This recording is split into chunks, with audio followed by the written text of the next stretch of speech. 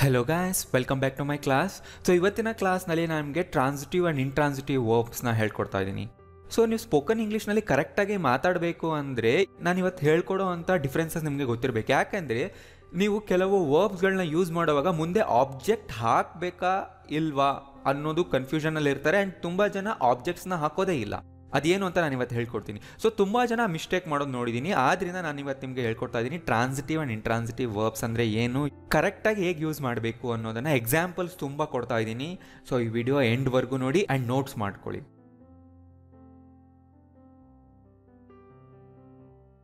So English ಸೆಂಟೆನ್ಸ್ನ basic structure ನಿಮಗೆ ಗೊತ್ತು. ಫಸ್ಟ್ ಸಬ್ಜೆಕ್ಟ್ ಇದ್ದೇ ಇರುತ್ತೆ. ಅದಾದಮೇಲೆ ವರ್ಬ್ ಅಂತೂ ಬೇಕೇ ಬೇಕು. ಸೊ ಇಂಗ್ಲೀಷ್ ಸೆಂಟೆನ್ಸ್ ಕಂಪ್ಲೀಟ್ ಆಗಬೇಕಂದ್ರೆ ಈ ಎರಡು ವರ್ಡ್ಸ್ ಇರಲೇಬೇಕು. ಸಬ್ಜೆಕ್ಟ್ ಆ್ಯಂಡ್ ವರ್ಬ್ ಅಲ್ವಾ?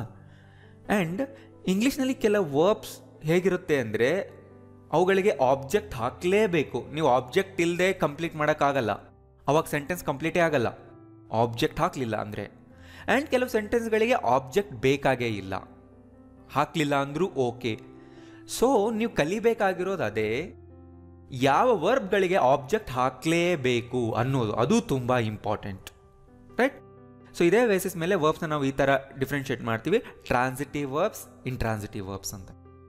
ಈ ವಿಡಿಯೋ ಎಂಡ್ವರೆಗೂ ನೋಡಿ ಆ್ಯಂಡ್ ನೆಕ್ಸ್ಟ್ ಪಾರ್ಟ್ಸ್ ಕೂಡ ನೋಡಿ ಕಂಟಿನ್ಯೂ ಆಗುತ್ತೆ. ಇನ್ನು ಅಡ್ವಾನ್ಸ್ ಲೆವೆಲ್ ಸೆಂಟೆನ್ಸ್ ಕ್ರಿಯೇಷನ್ನ ನಾನು ನೆಕ್ಸ್ಟ್ ಪಾರ್ಟ್ಗಳಲ್ಲಿ ಹೇಳ್ಕೊಡ್ತೀನಿ. ಸೊ ಎರಡು ಮೂರು ಕ್ಲಾಸಸ್ ಸೇರಿ ಇದು ಕಂಪ್ಲೀಟ್ ಆಗುತ್ತೆ ಚಾಪ್ಟರ್ ಸೊ ಆ ಕ್ಲಾಸ್ ಕೂಡ ನೋಡಿ ಮಿಸ್ ಮಾಡ್ಕೋಬೇಡಿ. A transitive verbs need an object transitive ವರ್ಬ್ಗೆ object ಇರಲೇಬೇಕು. For example I like the film so ಇಲ್ಲಿ ಲೈಕ್ಡ್ ಅನ್ನೋದು ವರ್ಬ್ ದ ಫಿಲ್ಮ್ ಅನ್ನೋದು ಆಬ್ಜೆಕ್ಟ್. ಸೊ ಆಬ್ಜೆಕ್ಟ್ ಅಂದರೆ ಏನು? ವರ್ಬ್ನ ರಿಸೀವ್ ಮಾಡ್ಕೊಳ್ಳೋಂಥ ವರ್ಡ್ಗೆ ಆಬ್ಜೆಕ್ಟ್ ಅಂತ ಕರಿತೀವಿ. ಅಂದರೆ ಐ ಲೈಕ್ಡ್ ನನಗೆ ಏನು ಇಷ್ಟ ಆಯಿತು? ಫಿಲ್ಮ್ ಇಷ್ಟ ಆಯಿತು. ನಾನು ಜಸ್ಟ್ ಈ ಥರ ಹೇಳಕ್ಕೆ ಬರಲ್ಲ. ಐ ಲೈಕ್ಡ್ ಅಂತ. I liked it I like the film I like the food ಈ ಥರ ಏನಾದರೂ ಒಂದು ವರ್ಡ್ನ ಮುಂದೆ ಹಾಕಲೇಬೇಕು ಲೈಕ್ ಆದಮೇಲೆ.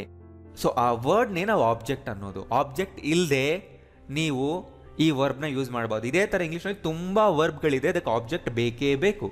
ಸೊ ಆಬ್ಜೆಕ್ಟ್ನ ಕೆಲಸ ಏನು ಅಂದರೆ ವರ್ಬ್ನ ರಿಸೀವ್ ಮಾಡ್ಕೊಳ್ಳುತ್ತೆ. ಡೈರೆಕ್ಟಾಗಿ ಆ ವರ್ಡ್ ಮೇಲೇ ಕೆಲಸ ನಡೆಯುತ್ತೆ. ಆ್ಯಂಡ್ ಯಾವ ವರ್ಬ್ಗೆ ಆಬ್ಜೆಕ್ಟ್ ಬೇಕಾಗಿಲ್ಲ, ಅದನ್ನು ಇಂಟ್ರಾನ್ಸಿಟಿವ್ ವರ್ಬ್ ಅಂತ ಕರಿತೀವಿ. ಅಂದರೆ intransitive verb does not need an object for example ನೋಡಿ the baby slept so sleep ಅನ್ನೋ ವರ್ಬ್ಗೆ ಏನೂ ಆಬ್ಜೆಕ್ಟ್ ಬೇಕಾಗಿಲ್ಲ. ಅಲ್ವಾ? ಯಾರು ಕೇಳಲ್ಲ ಅಲ್ವಾ? ವಾಟ್ ಈಸ್ ಬೇಬಿ ಸ್ಲೀಪಿಂಗ್ ಅಂತ? ನೋ ಅಂದರೆ ಸ್ಲೀಪ್ ಮುಂದೆ ಯಾವುದೋ ಆಬ್ಜೆಕ್ಟೇ ಬೇಕಾಗಿಲ್ಲ, ಹಾಕಿದ್ರು ರಾಂಗ್ ಆಗುತ್ತೆ. ಹಾಂ, ನೀವು ಬೇಕಿದ್ರೆ ಪ್ಲೇಸ್ ಹಾಕ್ಬೋದು. The baby sleeping in the cradle ಅಂತ ಹೇಳ್ಬೋದು. ಇದೇ ಥರ ಇಂಗ್ಲೀಷ್ನಲ್ಲಿ ತುಂಬ ವರ್ಬ್ಗಳಿದೆ ಅದಕ್ಕೆ ಆಬ್ಜೆಕ್ಟೇ ಬೇಕಾಗಿಲ್ಲ. ಸೊ ಅದನ್ನೇ ನಾವು ಇವತ್ತು ಕಲಿತಾ ಇದ್ದೀವಿ ನೀವು ಡೈಲಿ ಲೈಫ್ನಲ್ಲಿ ಮಾತಾಡುವಾಗ ಯಾರಿಗಾದರೂ ಮೆಸೇಜ್ ಮಾಡ್ತಿದ್ದೀರಾ ಇಮೇಲ್ ಮಾಡ್ತಾ ಇದ್ದೀರಾ, ಈ ಥರ ಸಿಚುವೇಶನ್ಗಳಲ್ಲಿ ನೀವು ಈ ಥರ ಸಿಲ್ಲಿ ಮಿಸ್ಟೇಕ್ಸ್ನ ಮಾಡಬಾರ್ದು. ಅಲ್ಲಿ ನಿಮ್ಗೆ ಆಬ್ಜೆಕ್ಟ್ ಹಾಕಬೇಕಾಗಿರುತ್ತೆ, ನೀವು ಹಾಕೇ ಇರೋದಿಲ್ಲ. ಇಂಗ್ಲೀಷ್ ಕ್ವಾಲಿಟಿ ತುಂಬ ಪೂರ್ ಆಗುತ್ತಾಗ ನಿಮ್ಮದು ಗೊತ್ತಾಯ್ತಲ್ಲ? ಅವ್ರಿಗೆ ಅರ್ಥ ಆಗುತ್ತೆ ನಿಮ್ಮ ಮೆಸೇಜ್ ಬಟ್ ನಿಮ್ಮ ಇಂಗ್ಲೀಷ್ ಕ್ವಾಲಿಟಿ ಲೆವೆಲ್ ತುಂಬ ಪೂರಾಗಿರುತ್ತೆ ಆ್ಯಂಡ್ ಎಕ್ಸಾಮ್ಸ್ಗೂ ಕೂಡ ಈ ಚಾಪ್ಟರ್ ತುಂಬ ಇಂಪಾರ್ಟೆಂಟ್ ಸೊ ಫಸ್ಟ್ ನಾನು ಎಕ್ಸಾಂಪಲ್ಸ್ ಕೊಡ್ತಾ ಇದ್ದೀನಿ ಇಲ್ಲಿ ಟ್ರಾನ್ಸಿಟಿವ್ ವರ್ಬ್ಸ್ಗೆ ಅಂದರೆ, ನಾನೀಗ ಹೇಳುವಂಥ ವರ್ಬ್ಸ್ಗೆ ಆಬ್ಜೆಕ್ಟ್ ಬೇಕೇ ಬೇಕು. ಆಬ್ಜೆಕ್ಟ್ ಇಲ್ಲದೆ ನೀವು ಅದನ್ನು ಅಲ್ಲಿಗೆ ಸ್ಟಾಪ್ ಮಾಡೋಕ್ಕಾಗಲ್ಲ. ಐ ಇನ್ವೈಟೆಡ್ ದ ಸ್ಟಾಫ್ ನಾನು ಯಾರನ್ನ ಇನ್ವೈಟ್ ಮಾಡಿದೆ? The staff right I invited ಅಂತ ನೀವು ಹೇಳಬಾರ್ದು. ವಿ ಇನ್ವೈಟೆಡ್ ಯಾರನ್ನ ಇನ್ವೈಟ್ ಮಾಡಿದ್ದೆ ಅದನ್ನು ಹೇಳಲೇಬೇಕು ಇಲ್ಲಿ. ಸೊ ಇಲ್ಲಿ ಇನ್ವೈಟ್ ಅನ್ನೋದು ಟ್ರಾನ್ಸಿಟಿವ್ ವರ್ಬ್ ಯಾವುದೇ ಟೆನ್ಸ್ನಲ್ಲಿ ಹಾಕಿ ನೀವು ಮುಂದೆ ಒಂದು ಆಬ್ಜೆಕ್ಟ್ ಇರಲೇಬೇಕು ರೈಟ್ ಯು ಸರ್ಪ್ರೈಸ್ಡ್ ಮೀ ನೀನನ್ನು ಸರ್ಪ್ರೈಸ್ ಮಾಡಿದೆ. ಸೊ ಇಲ್ಲಿ ಸರ್ಪ್ರೈಸ್ ಅನ್ನೋದು ಟ್ರಾನ್ಸಿಟಿವ್ ವರ್ಬ್ ಯಾರನ್ನ ಸರ್ಪ್ರೈಸ್ ಮಾಡಿದ್ರು ಅಂತ ಹೇಳಲೇಬೇಕು ನೀವು. ಅದೇ ಥರ we really enjoyed the party ಇಂಗ್ಲೀಷ್ನಲ್ಲಿ ತುಂಬ ಜನ ಮಾಡೋ ಮಿಸ್ಟೇಕ್ ಏನಂದರೆ ಐ ಎಂಜಾಯ್ಡ್ ಅಂತ ಹೇಳಿಬಿಡ್ತಾರೆ ಅಷ್ಟೇ. ನೋ ಅಟ್ಲೀಸ್ಟ್ ನೀವು ಹೇಳಬೇಕು ಐ ಎಂಜಾಯ್ಡ್ ಇಟ್ ಅಂತನಾದರೂ ಐ ಎಂಜಾಯ್ಡ್ಗೆ ನೀವು ಸ್ಟಾಪ್ ಮಾಡಬಾರ್ದು. ಏನನ್ನು ನೀವು ಎಂಜಾಯ್ ಮಾಡಿದ್ರಿ? ಹೇಳಬೇಕು. Did you enjoy the film she likes blue Kiran took my bike keys ನೋಡಿ ಕಿರಣ್ ಏನು ತೊಗೊಂಡೋದ? My bike keys I met him yesterday ಹಾಂ, ಇಲ್ಲಿ ನೋಡಿ ಹಿಮ್ ಅನ್ನೋದು ಆಬ್ಜೆಕ್ಟ್ ಎಸ್ಟಡೆ ಅನ್ನೋದಲ್ಲ. ಓಕೆ ಅದು ಟೈಮ್ ಸೊ ತುಂಬ ಸರಿ ವರ್ಬ್ಗಳಾದಮೇಲೆ ನಾವು ಟೈಮ್ ಹಾಕ್ತೀವಿ. ಪ್ಲೇಸ್ ವರ್ಡ್ಗಳನ್ನ ಹಾಕ್ತೀವಿ. ಅವೆಲ್ಲ ಆಬ್ಜೆಕ್ಟ್ಸ್ ಅಲ್ಲ. ನೆನ್ಪಿಟ್ಕೊಳ್ಳಿ. ತುಂಬ ಜನ ಅನ್ಕೊಂತಾರೆ ವರ್ಬ್ ಆದಮೇಲೆ ಬರೋ ವರ್ಡ್ಗಳೆಲ್ಲ ಆಬ್ಜೆಕ್ಟ್ ಅಂತ. ನೋ ಅಲ್ಲ. ಆ ಕೆಲಸ ಎಲ್ಲಿ ನಡೀತು ಅಂತ ಹೇಳ್ತೀವಿ, ಯಾವಾಗ ನಡೀತು ಅಂತ ಹೇಳ್ತೀವಿ ಅಷ್ಟೇ. ಇನ್ಫಾರ್ಮೇಷನ್ ಕೊಡ್ತಾ ಇರುತ್ತೆ. ಆಬ್ಜೆಕ್ಟ್ ಕೆಲಸ ಏನು? ವರ್ಬ್ನ ರಿಸೀವ್ ಮಾಡ್ಕೊಳ್ಳುತ್ತೆ ಆಬ್ಜೆಕ್ಟ್ ಮೇಲೆ ಆ ವರ್ಬ್ ವರ್ಕ್ ಆಗುತ್ತೆ. ಇದನ್ನು ತಲೆ ಒಳಗಡೆ ಇಟ್ಕೊಳ್ಳಿ. ಈಗ ನೋಡಿ ಅವನೇನು ತೊಗೊಂಡೋದ ನಾನು ಬೈಕ್ ಕೀಸ್ನ ತೊಗೊಂಡೋದ took my keys likes blue enjoy the film surprised me ಈ ಥರ ಆ ವರ್ಬ್ಗಳು ಡೈರೆಕ್ಟ್ ಆ ವರ್ಬ್ಗಳು ಆಬ್ಜೆಕ್ಟ್ನ ಮೇಲೆ ಆ್ಯಕ್ಟ್ ಮಾಡ್ತಾ ಇರುತ್ತೆ. ಅದು ಆ್ಯಕ್ಟ್ ಮಾಡ್ತಿದೆಯಾ ಇಲ್ವಾ ನೋಡ್ಬೇಕು ನೀವು. We watch two wonderful movie ನೋಡಿ, ನಾವೇನು ನೋಡಿದ್ವಿ? ವಂಡರ್ಫುಲ್ ಮೂವಿನ ನೋಡಿದ್ವಿ. ರೈಟ್ ಸೊ ಇವು ಟ್ರಾನ್ಸಿಟಿವ್ ವರ್ಬ್ಗಳು ಆ್ಯಂಡ್ ಇನ್ನೊಂದು ಇಂಪಾರ್ಟೆಂಟ್ ವಿಷಯ ಹೇಳ್ತೀನಿ ನೋಡಿ. ಈ ಟ್ರಾನ್ಸಿಟಿವ್ ವರ್ಬ್ಗಳು ಮತ್ತು ಆಬ್ಜೆಕ್ಟ್ಗಳ ಮಧ್ಯದಲ್ಲಿ ನೀವು ಯಾವುದೂ ಪ್ರಿಪೋಸಿಷನ್ ಹಾಕಬೇಕಾಗಿಲ್ಲ. ಡೈರೆಕ್ಟಾಗಿ ಆಬ್ಜೆಕ್ಟ್ಗಳನ್ನ ಹಾಕಿ. ಫಾರ್ ಎಕ್ಸಾಂಪಲ್ ಈ ಥರ ಹೇಳಬೇಕಾಗಿಲ್ಲ. You surprise on me wrong I invited to the staff ಇದು ಕೂಡ ರಾಂಗ್ ಗೊತ್ತಾಯ್ತಲ್ಲ ಆಬ್ಜೆಕ್ಟ್ ಮಧ್ಯದಲ್ಲಿ ನಾ ಹೇಳ್ತಾ ಇರೋದು. ಆಮೇಲೆ ಬೇಕಾದ್ರೆ ಬರಬಹುದದು. ಹಾಂ, ಇಲ್ಲಿ ನೋಡಿ ಲಿಸ್ಟ್ ಕೊಡ್ತಾ ಇದ್ದೀನಿ. ತುಂಬ ಟ್ರಾನ್ಸಿಟಿವ್ ವರ್ಬ್ಸ್ ಇದೆ. ಸೊ ಈ ಲಿಸ್ಟ್ ಆ ವೆಬ್ಸೈಟಲ್ಲಿ ಇರುತ್ತೆ. ವೆಬ್ಸೈಟಿಗೆ ಹೋಗಿ ಈ ಪಿ ಡಿ ಎಫ್ ಫೈಲ್ನ ಡೌನ್ಲೋಡ್ ಮಾಡ್ಕೊಳ್ಳಿ ನೀವು. ಡೌನ್ಲೋಡ್ ಮಾಡ್ಕೊಂಡು ಪ್ರಿಂಟ್ ಮಾಡ್ಕೊಂಡು ಇಟ್ಕೊಳ್ಳಿ ನಿಮ್ಮ ಹತ್ರ. ವೆಬ್ಸೈಟ್ ಲಿಂಕ್ನ ಕೆಳಗಡೆ ನಾನು ಡಿಸ್ಕ್ರಿಪ್ಷನಲ್ಲಿ ಕೊಟ್ಟಿರ್ತೀನಿ. ಆದರೂ ನೀವು ಕೇಳ್ತೀರಾ, ಎಲ್ಲಿದೆ, ಹೇಗೆ ಡೌನ್ಲೋಡ್ ಮಾಡಬೇಕಂತ, ಪ್ರತಿ ಸಾರಿ ನೀವು ಡಿಸ್ಕ್ರಿಪ್ಷನ್ ಚೆಕ್ ಮಾಡಿದ್ರೆ ಅಲ್ಲೆಲ್ಲ ಡೀಟೇಲ್ಸ್ ಸಿಗುತ್ತೆ ನಿಮಗೆ. ನೆಕ್ಸ್ಟ್ ಇಂಟ್ರಾನ್ಸಿಟಿವ್ ವರ್ಬ್ಸ್ ಅಂದರೆ ನಾನೀಗ ಹೇಳುವಂಥ ವರ್ಬ್ಗಳಿಗೆ ಆಬ್ಜೆಕ್ಟ್ ಬೇಕಾಗಿಲ್ಲ. ನೀವು ವರ್ಬ್ಗೆ ಸ್ಟಾಪ್ ಮಾಡ್ಬೋದು ಸೆಂಟೆನ್ಸ್ನ for example Kiran came. Kiran ಬಂದ. ಕೇಮ್ ಯಾವುದ್ರ ಮೇಲೆ ಆ್ಯಕ್ಟ್ ಮಾಡ್ತು ಹೇಳಬೇಕಾಗಿಲ್ಲ. ಕಿರಣ್ ಮೇಲೇ ಆ್ಯಕ್ಟ್ ಮಾಡ್ತು. ಸೊ ಇಂಟ್ರಾನ್ಸಿಟಿವ್ ವರ್ಬ್ ಸಬ್ಜೆಕ್ಟ್ ಮೇಲೆ ಆ್ಯಕ್ಟ್ ಮಾಡಿರುತ್ತೆ. ಆಬ್ಜೆಕ್ಟ್ ಮೇಲೆ ಆ್ಯಕ್ಟ್ ಮಾಡೋಕ್ಕೆ ಅವಶ್ಯಕತೆನೇ ಇಲ್ಲ ಅಲ್ಲಿ, ಬೇಕಾಗಿಲ್ಲ. ಗೊತ್ತಾಯ್ತಲ್ಲ? ಬಟ್ ಕಿರಣ್ ಕೇಮ್ ಹೋಮ್ ಅನ್ಬೋದು home is not an object he sleeping ಅಷ್ಟೇ, ಮುಗೀತು. ಇಲ್ಲಿ ಹೀ ಅನ್ನೋದೇ ಕೆಲಸ ಮಾಡ್ತಾ ಇದೆ. ಸ್ಲೀಪಿಂಗ್ ಅನ್ನೋದು ವರ್ಬ್ ಮೇಲೆ ಕೆಲಸ ಮಾಡ್ತಿದೆ, ಅಷ್ಟೇ. ಮುಂದೆ ಆಬ್ಜೆಕ್ಟ್ ಬೇಕಾಗಿಲ್ಲ. ದೇ ಅರೈವ್ಡ್ ಲೇಟ್ ಅವ್ರು ಲೇಟಾಗಿ ಬಂದರು. ಹಾಂ ಲೇಟ್ ಅನ್ನೋದು ಇಲ್ಲಿ ಆಬ್ಜೆಕ್ಟ್ ಅಲ್ಲ? ಅದೊಂದು ಅಡ್ವರ್ಬ್ ಅವ್ರು ಲೇಟಾಗಿ ಬಂದರು ಅನ್ನೋದನ್ನು ಹೇಳ್ತಿದೆ ಅಷ್ಟೇ. ಅಡ್ವರ್ಬ್ಸ್ ಮೇಲೂ ನಾನು ಕ್ಲಾಸ್ ಮಾಡ್ತೀನಿ. ನೀವೆಲ್ಲ ವೀಡಿಯೋಸ್ ನೋಡ್ತೀರಿ. ಹಿ ವೆಂಟ್ ಬೈ ಟ್ರೈನ್ ಅವ್ನು ಟ್ರೈನಿಂದ ಹೋದ. ಅಗೈನ್ ಹೋದ ಅಷ್ಟೇ ಹೇಳ್ತಾ ಇದ್ದೀವಿ ಇಲ್ಲಿ. ಹಿ ವೆಂಟ್ ಅಂದರೂ ಕೂಡ ಕರೆಕ್ಟ್ ಬೈ ಟ್ರೈನ್ ಅನ್ನೋದು ಆಬ್ಜೆಕ್ಟ್ ಅಲ್ಲ. ಅವ್ನು ಯಾವ ರೀತಿ ಹೋದ ಅಂತ ಆ ವರ್ಡ್ ಹೇಳ್ತಿದೆ ಅಷ್ಟೇ. ನೀವು ನೋಡಿ ಚೆಕ್ ಮಾಡಿ. ಆ ವರ್ಬ್ ಅದ್ರ ಮೇಲೆ ಆ್ಯಕ್ಟ್ ಮಾಡ್ತಿದ್ಯಾ ನೋಡಿ. ಇಲ್ಲ ಅಲ್ವಾ? ವೆಂಟ್ ಅನ್ನೋದು ಟ್ರೈನ್ ಮೇಲೆ ಆ್ಯಕ್ಟ್ ಮಾಡ್ತಿಲ್ಲ. Directly so it's not an object ನೀವು ಜಸ್ಟ್ ಹಿ ವೆಂಟ್ ಅಂತಲೂ ಹೇಳ್ಬೋದು. ಅದು ಕಂಪ್ಲೀಟ್ ಸೆಂಟೆನ್ಸ್ ಆದ್ದರಿಂದ ಲಿಸ್ಟ್ ನೋಡ್ಕೊಳ್ಳಿ ಯಾವ್ಯಾವ ವರ್ಬ್ಗಳು ಟ್ರಾನ್ಸಿಟಿವ್ ಯಾವ್ದು ಇನ್ ಟ್ರಾನ್ಸಿಟಿವ್ ಅನ್ನೋ ನೋಡ್ಕೊಂಡು ನಿಮ್ಗೆ ಗೊತ್ತಾಗುತ್ತೆ. ನಾ ಪಿ ಡಿ ಎಫ್ ಫೈಲ್ನಲ್ಲಿ ತುಂಬ ಕಾಮನ್ ಆಗಿ ಯೂಸ್ ಮಾಡೋ ವರ್ಬ್ಸ್ ಕೊಟ್ಟಿದ್ದೀನಿ ಅಷ್ಟು ಕಲ್ತ್ರೆ ಸಾಕು. ಮುಂದಕ್ಕೆ ನೀವು ಹೇಗೂ ಓದ್ತಾ ಇದ್ದರೆ ಕಲಿತಾ ಇರ್ತೀರ? Did it rain last night last night ಮಳೆ ಬಂತ?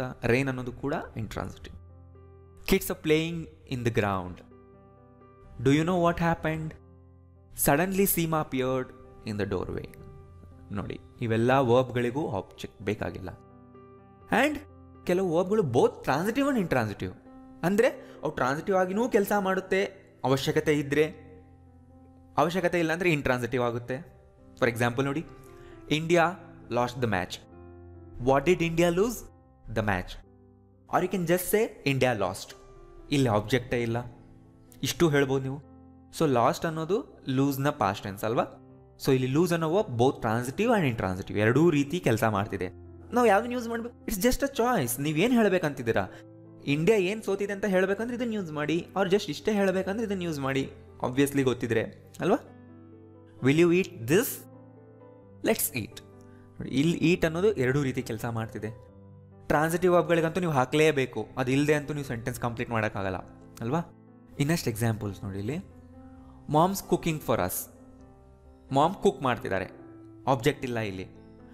Mom's cooking dinner for us ಇಲ್ಲಿ ಡಿನ್ನರ್ ಕುಕ್ ಮಾಡ್ತಿದ್ದಾರೆ. ಮೇಲ್ಗಡೆ ಸೆಂಟೆನ್ಸ್ನಲ್ಲಿ ಏನು ಕುಕ್ ಮಾಡ್ತಿದ್ದಾರೆ ಹೇಳಿಲ್ಲ. ಬಟ್ ಈ ಸೆಂಟೆನ್ಸ್ನಲ್ಲಿ ಹೇಳ್ತಾ ಇದ್ದೀನಿ. ಕುಕ್ ಅನ್ನೋದು ಟ್ರಾನ್ಸಿಟಿವ್ ಕೂಡ ಇಂಟ್ರಾನ್ಸಿಟಿವ್ ಕೂಡ. ಅದೇ ಥರ. She played very well she played chess very well I been trying to read more I been trying to read more books so ಇಲ್ಲೇನು ಹೇಳ್ತಾ ಇದ್ದೀನಿ? ನಾನು ಜಾಸ್ತಿ ಓದಬೇಕು ಅಂತ ಟ್ರೈ ಮಾಡ್ತಿದ್ದೀನಿ. ಇಲ್ಲಿ ಜಾಸ್ತಿ ಬುಕ್ಸ್ ಓದಬೇಕು ಅಂತ ಟ್ರೈ ಮಾಡ್ತಿದ್ದೀನಿ. ಹೆಚ್ಚು ಬುಕ್ಸ್ಗಳನ್ನ ದ ಡೋರ್ ಓಪನ್ಡ್ ಅಷ್ಟೇ. ಇಲ್ಲಿ ಡೋರ್ ಮೇಲೆ ಕೆಲಸ ಆಗಿದೆ. ಇದು ಅಂಡರ್ಸ್ಟುಡ್ ಡೋರ್ ಓಪನ್ ಮಾಡಲಿಲ್ಲ. ಡೋರೇ ಓಪನ್ ಆಯಿತು.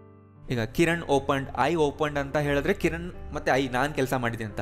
ಬಟ್ ಇಲ್ಲಿ ದ ಡೋರ್ ಓಪನ್ಡ್ ಅಂದರೆ ಅಂಡರ್ಸ್ಟುಡ್ ಅದು.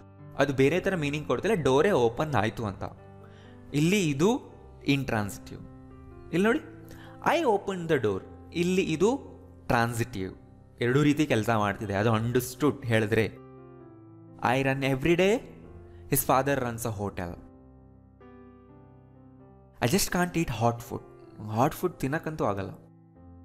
What time do you eat he suddenly enter the room do not enter ನೋಡಿ, ಏನು ಎಂಟರ್ ಮಾಡ್ದ? ಅಲ್ಲಿ ಹೇಳ್ತಾ ಇದ್ದೀವಿ ಇಲ್ಲಿ just do not enter ಅಂತಿದ್ವಿ. He drives a van for a delivery company I learn to drive when I was twenty ನೋಡಿ we left the house at ten we are leaving ನಾವು ನಾವು ಎಲ್ಲಿಂದ ಹೊರಡ್ತಿದ್ದೀವಿ ಅಂತ ಇಲ್ಲಿ ಹೇಳಿಲ್ಲ. ಮೇಲ್ಗಡೆ ಸೆಂಟೆನ್ಸ್ನಲ್ಲಿ ಹೇಳಿದ್ದೀವಿ she won the competition did you win so ಎರಡು ಸ್ಲೈಡ್ನಲ್ಲಿ ಹೇಳಿರೋ ಎಲ್ಲವುಗಳು both transitive and intransitive so ಎಲ್ಲ ಲಿಸ್ಟ್ನ ನಾನು ಪಿ ಡಿ ಎಫ್ ಫೈಲ್ನಲ್ಲಿ ಕೊಟ್ಟಿದ್ದೀನಿ ವೆಬ್ಸೈಟ್ನಲ್ಲಿ ಹೋಗಿ ಆಮೇಲೆ ಡೌನ್ಲೋಡ್ ಮಾಡ್ಕೊಳ್ಳಿ. ಡಿಸ್ಕ್ರಿಪ್ಷನಲ್ಲಿ ಲಿಂಕ್ ಇರುತ್ತೆ. ಓಕೆ ನಮಗೆ ಗೊತ್ತಾಯಿತು ಕೆಲವು ವರ್ಬ್ಗಳು ಟ್ರಾನ್ಸಿಟಿವ್ ಇರುತ್ತೆ, ಕೆಲವು ವರ್ಬ್ಗಳು ಇಂಟ್ರಾನ್ಸಿಟಿವ್ ಇರುತ್ತೆ. ಇದು ಎಲ್ಲದಕ್ಕೂ ಅಪ್ಲೈ ಆಗುತ್ತಾ? ಅಂದರೆ ಫಾರ್ ಎಕ್ಸಾಂಪಲ್ ಇಲ್ಲೊಂದು ಸೆಂಟೆನ್ಸ್ ಇದೆ ನೋಡಿ. Your room is very big ಇಲ್ಲಿ ಇಸ್ ಅನ್ನೋದೇನು ಟ್ರಾನ್ಸಿಟಿವ್ ವರ್ಬ ಇಂಟ್ರಾನ್ಸಿಟಿವ್ ವರ್ಬ ಅಲ್ಲ. ಇದು ಎರಡೂ ಅಲ್ಲ. ಇದು ಎಂಥ ವರ್ಬ್ ಅಂದರೆ ಲಿಂಕಿಂಗ್ ವರ್ಬ್ ಸೊ ಇಲ್ಲಿ ಇಸ್ ಅನ್ನೋದು ಲಿಂಕ್ ಮಾಡ್ತಿದೆ ಎರಡು ಸಪ್ರೇಟ್ ವರ್ಡ್ಸ್ಗಳನ್ನ ಅಷ್ಟೇ. ಬಿ ಫಾರ್ಮ್ ಇದು. ಇಲ್ಲಿ ಇಸ್ ಬಿ ಫಾರ್ಮ್ ಆಗಿ ಕೆಲಸ ಮಾಡ್ತಿದೆ. ಬಿ ವರ್ಬ್ ಇದು. ಇದು ಕೂಡ ವರ್ಬ್ ಬಿ ವರ್ಬ್ ಇದು. ಅಂದರೆ ರೂಮ್ ಹೇಗಿದೆ ಅಂತ ಹೇಳ್ತಿದೆ. ಓಕೆ ಮತ್ತು ಇಲ್ಲಿ ವೆರಿ ಬಿಗ್ ಅನ್ನೋದು ಆಬ್ಜೆಕ್ಟ್ ಅಲ್ಲ, ಅದನ್ನು ಕಾಂಪ್ಲಿಮೆಂಟ್ ಅಂತ ಕರಿತೀವಿ ಈ ಥರ ಸೆಂಟೆನ್ಸ್ಗಳಲ್ಲಿ ರೈಟ್ ಸೊ ಬಿ ಫಾರ್ಮ್ಗಳಲ್ಲಿ ಆಬ್ಜೆಕ್ಟ್ ಇರಲ್ಲ ಬಿ ಫಾರ್ಮ್ಗಳಲ್ಲಿ ಕಾಂಪ್ಲಿಮೆಂಟ್ಸ್ ಇರುತ್ತೆ. ಅಂದರೆ ಸಬ್ಜೆಕ್ಟ್ ಹೇಗಿದೆ ಅಂತ ಕಾಂಪ್ಲಿಮೆಂಟ್ ಹೇಳುತ್ತೆ. ಕಾಂಪ್ಲಿಮೆಂಟ್ ಆಗ್ತಿದೆ ಅಂದರೆ ಅರ್ಥ ಸೆಂಟೆನ್ಸ್ ಕಂಪ್ಲೀಟ್ ಆಗ್ತಿದೆ ಅಂತ. ಕಾಂಪ್ಲಿಮೆಂಟ್ಸ್ ಯಾವಾಗಲೂ ಬಿ ಫಾರ್ಮ್ ಆದಮೇಲೆ ಬರುತ್ತೆ. ನಾನು ಬಿ ಫಾರ್ಮ್ನಲ್ಲಿ ತುಂಬ ಡೀಟೇಲ್ ಆಗಿ ಹೇಳಿದ್ದೀನಿ ಇದು class number one fifty nine ಅಂದರೆ ಬಿಗಿನಿಂಗ್ ಕ್ಲಾಸ್ನಲ್ಲಿ one two twenty thirty classes ನೋಡಿದ್ರೆ ನಾನು ಇದನ್ನೇ ಹೇಳ್ಕೊಟ್ಟಿದ್ದೀನಿ ನಿಮಗೆ, ಅಲ್ವಾ? ಯು ಲುಕ್ ನೈಸ್ ಇಲ್ಲಿ ನೋಡಿ ಲುಕ್ ಅನ್ನೋದು ಕೂಡ ಲಿಂಕ್ ಮಾಡ್ತಾ ಇದೆ. ಯು ಮತ್ತೆ ನೈಸ್ ನೀನು ಹೇಗೆ ಕಾಣಿಸ್ತಿದೀಯ ಅಂತ ಹೇಳ್ತಾ ಇದೆ. ಸೊ ನೈಸ್ ಅನ್ನೋದು ಆಬ್ಜೆಕ್ಟ್ ಅಲ್ಲ ಕಾಂಪ್ಲಿಮೆಂಟ್ ರೈಟ್ ಸೊ ಈಗ ನಾನು ಹೇಳ್ಕೊಡ್ತಾ ಇರೋಂಥ ವರ್ಬ್ಗಳ ಮುಂದೆ ಬರುವಂಥ ವರ್ಡ್ಗಳೆಲ್ಲ ಆಬ್ಜೆಕ್ಟ್ಸ್ ಅಲ್ಲ ಕಾಂಪ್ಲಿಮೆಂಟ್ಸ್ ಸುಮ್ಮನೆ ನಿಮ್ಗೆ ಗ್ರಾಮ್ಯಾಟಿಕಲ್ ವ್ಯೂ ಕೊಡ್ತಾ ಇದ್ದೀನಿ ನಾನು. ರೈಟ್ ತಿಳ್ಕೊಳ್ಳಿ ಅವಕ್ಕೆ ಏನು ಅಂತಾರೆ ಅಂತ ಗೊತ್ತಿರಲಿ ನಿಮಗೆ. Right this cake taste bitter I felt very nervous it's getting late she is a good teacher highly is ಅನ್ನೋದು B form the brothers became doctors he lives in Delhi don't walk on the grass so ಎಲ್ಲ ವರ್ಡ್ಗಳು complements and B forms ಗೊತ್ತಿದೆ ಕೆಲವು linking verbs ನೋಡಿ so ಇವುಗಳನ್ನ linking verbs ಅಂತ ಕರಿತೀವಿ ಇವು ಡೈರೆಕ್ಟ್ ಆಬ್ಜೆಕ್ಟ್ನ ಹೊಂದಿರಲ್ಲ ಇವುಗಳ ಮುಂದೆ ನಾವು ಅಡ್ಜೆಕ್ಟಿವ್ಸ್ ಹಾಕ್ತೀವಿ ಯಾವಾಗಲೂ ಆರ್ ನೌನ್ ಹಾಕ್ತೀವಿ ಈ ವರ್ಬ್ಗಳ ಮುಂದೆ ರೈಟ್ ನೀವು ಕ್ಲಾಸ್ ನಂಬರ್ ಒನ್ನಿಂದ ನೋಡ್ಕೊಂಡು ಬನ್ನಿ ರೈಟ್ ಅವಾಗ ನಿಮಗೆಲ್ಲ ಗೊತ್ತಾಗುತ್ತೆ. ಯಾಕೆ ಏನು ಅನ್ನೋದು.